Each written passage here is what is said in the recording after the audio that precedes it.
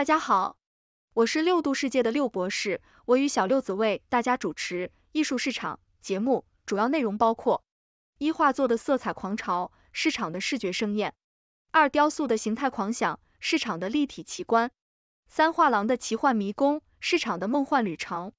那么，小六子可以先跟我们说说画作的色彩狂潮，市场的视觉盛宴。各位同学，今天我们要探讨的是画作的色彩狂潮，市场的视觉盛宴。这个题目听起来是不是有点像一场色彩的嘉年华？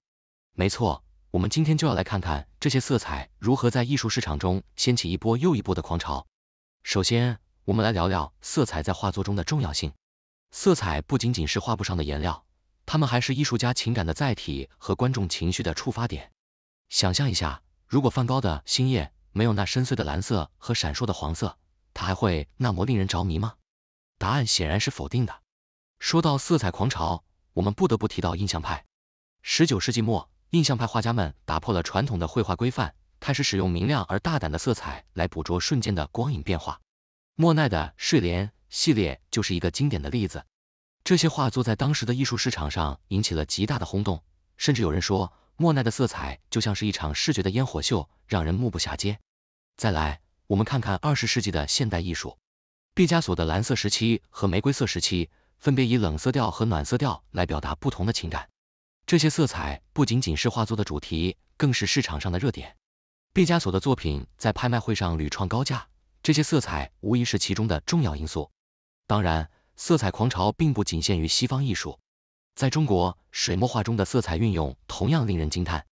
比如张大千的泼彩山水画，将传统的水墨技法与西方的色彩观念结合，创造出独特的视觉效果。这些作品在国际市场上同样备受追捧，成为收藏家的心头好。说到这里，我们不得不提到一个有趣的现象：色彩的流行趋势。就像时尚界有流行色，艺术市场也有色彩的潮流。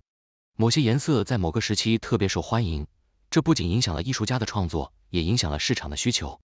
比如，二十世纪六十年代的波普艺术，鲜艳的色彩和大胆的对比成为那个时代的标志。安迪沃荷的作品就是最好的例子。最后，我们来聊聊色彩对市场价值的影响。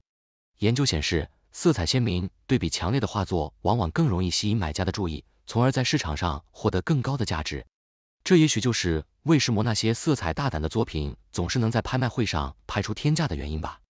总结来说，色彩在画作中扮演着至关重要的角色，它们不仅是艺术家情感的表达，更是市场价值的重要因素。无论是印象派的光影变幻，还是现代艺术的色彩狂潮，这些色彩都为我们带来了一场又一场的视觉盛宴。希望今天的分享能让大家对色彩在艺术市场中的重要性有更深入的了解。下次再看到那些色彩斑斓的画作时，别忘了，它们背后可是有着一段段精彩的故事呢。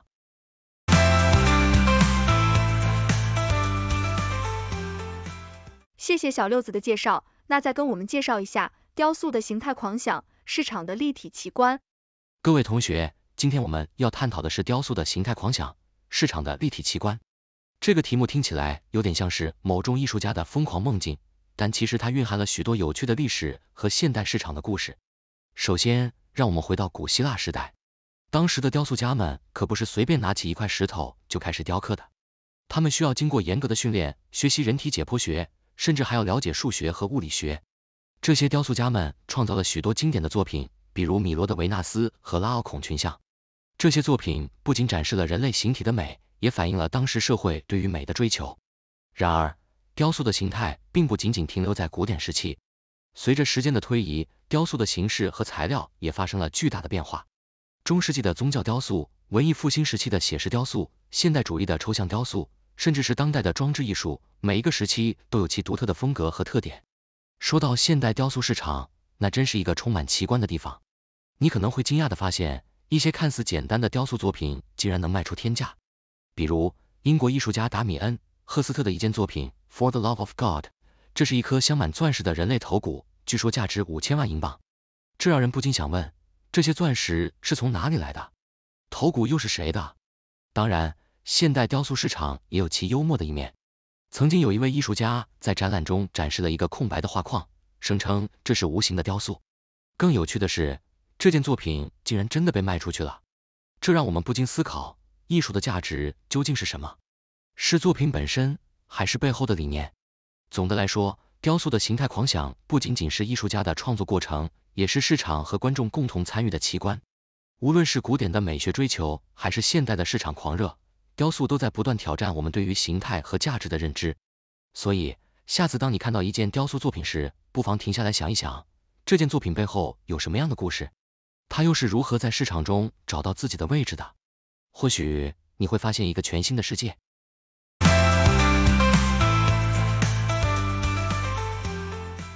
谢谢小六子的介绍，那再跟我们介绍一下画廊的奇幻迷宫。市场的梦幻旅程。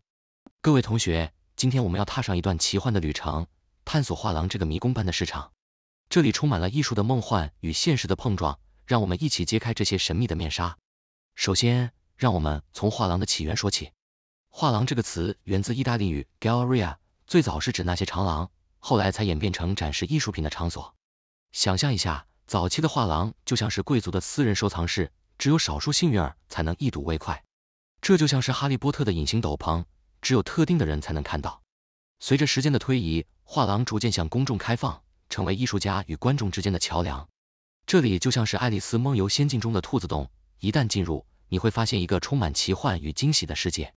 每一幅画作，每一件雕塑，都有他们自己的故事，等待着你去发掘。然而，画廊的世界并不仅仅是梦幻的，它还有现实的一面。画廊经营者就像是迷宫的守护者。他们需要在艺术与商业之间找到平衡，这里的每一笔交易都像是一场精心策划的棋局，需要智慧与策略。你可能会惊讶的发现，一些画廊经营者甚至会像福尔摩斯一样，通过蛛丝马迹来判断一件作品的真伪与价值。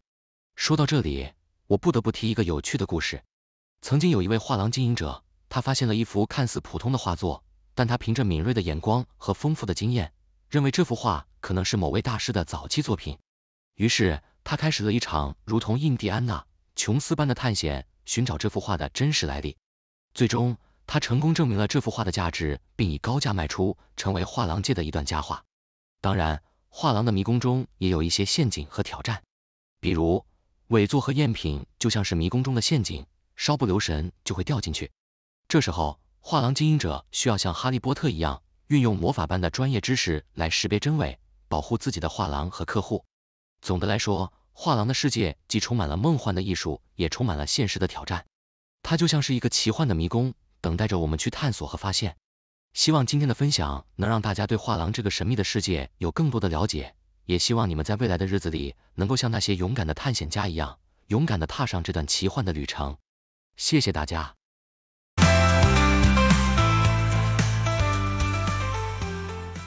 各位同学。今天我们探讨了艺术市场中的色彩、雕塑和画廊这三大奇观。从色彩的狂潮到雕塑的形态狂想，再到画廊的奇幻迷宫，我们一起走过了一段充满视觉和感官盛宴的旅程。色彩在画作中不仅仅是颜料，更是情感和市场价值的载体。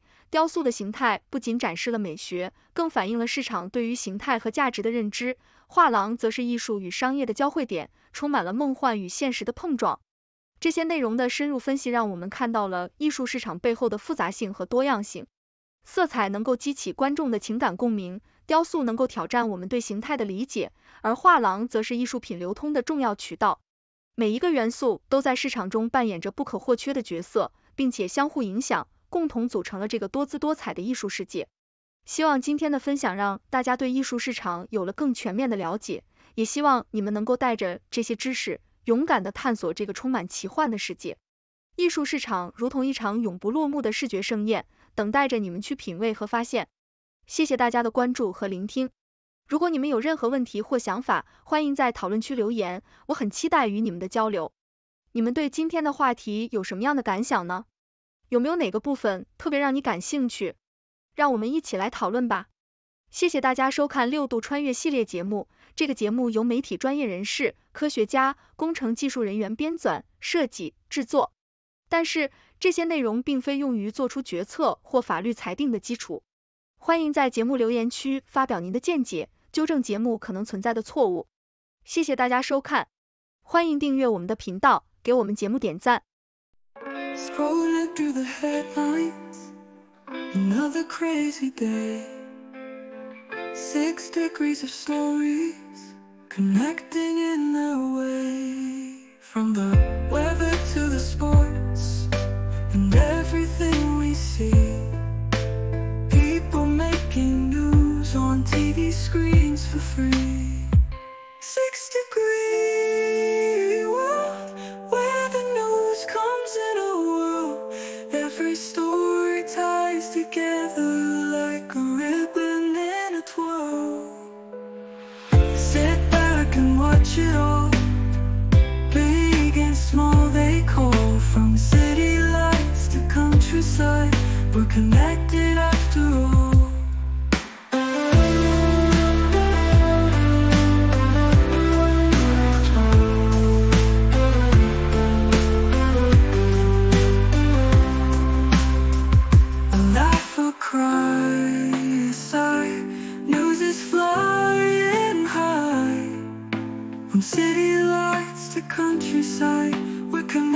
it after all.